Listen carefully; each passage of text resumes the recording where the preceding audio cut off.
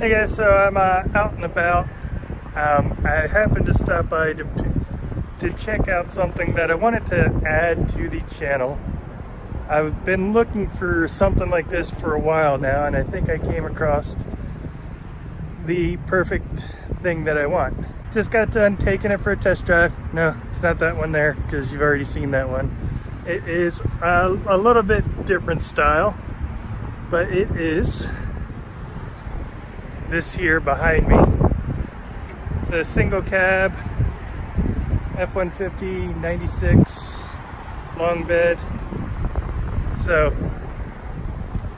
yeah, wanted a project truck that I could work on. It's needs some work, but that's exactly what I was expecting, especially for the year it was. But I like this older body style. Overall, this is in good shape. There is some damage in the rear there, but yeah, all part of the process of fixing it up and seeing how it turns out. All right, so here we are, We've got it to the house. It is a 96 F-150 single cab long bed, uh, which is in surprisingly good condition. Uh, the body lines on this side are perfect. Uh, well, except for the bumper, but fix that. The paint's not quite perfect, but don't expect it to be. Very little rust. A couple little spots here and there. And, and these trucks, yeah, like that. That this area is normally completely rusted out. So being just a little bit of rust there, not too bad. Um, it does need a new tailgate. This side's got a little bit of damage um, here.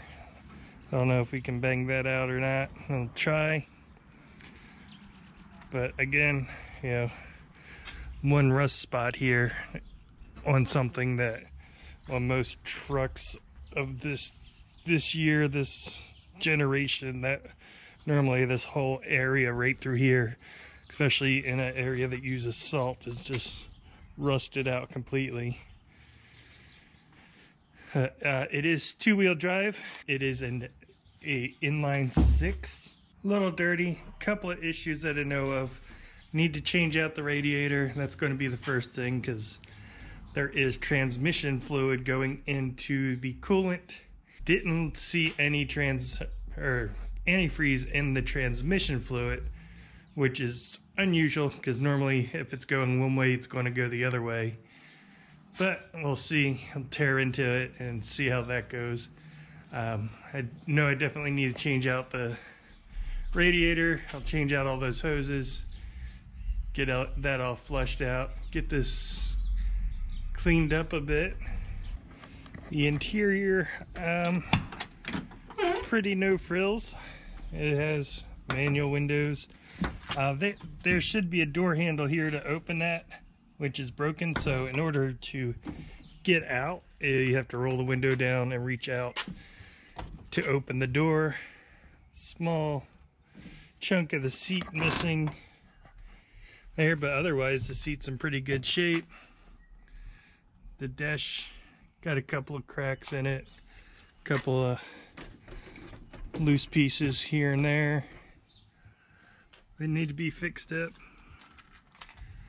Um, but jump in.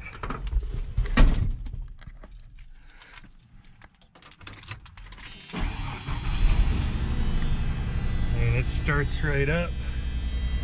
230,000 miles. It's seen its way around the block a few times. No headliner in here. Yeah, you can't get out. Here, you have to reach over to get out.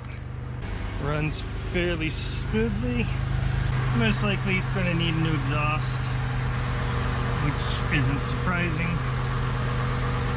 Maybe we'll just straight pipe it and see how that sounds.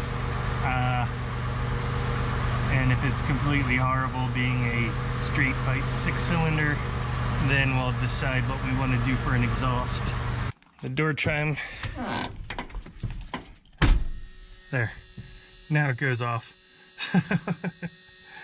Yeah, some fun little quirks, but that's to be expected. This is a two-wheel drive, so uh, probably not going to be lifting it or I might level it. I haven't decided if I want to level it by raising the front or by lowering the rear. But I already have a four-wheel drive truck, so I didn't need another one really. But I did want a project truck, single cab. Did want the long bed though, because it does make it things easier when I go to Home Depot and I need to pick up wood or drywall or anything like that and I can actually fit it into the bed instead of having it hang out the back.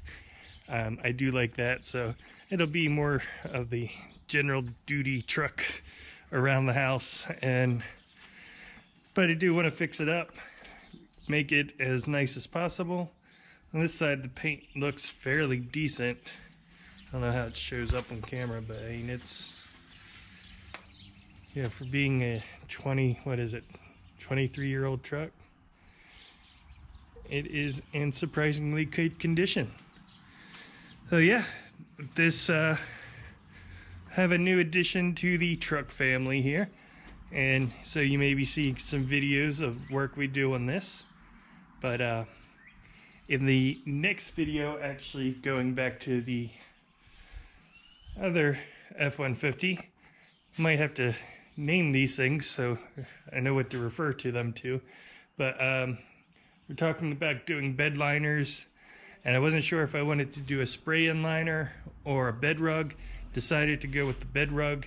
Uh, when I have a bit more time in the day, I will get that installed and I'll get a video of that to show the installation process. And um, I have some tests I want to run on it too to see how sturdy it actually is and how well it holds up.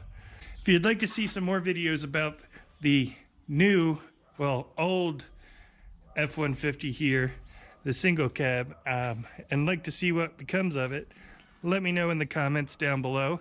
If you haven't subscribed yet, please do, and give a thumbs up and like this video. Thanks again for watching, and I'll see you in the next one.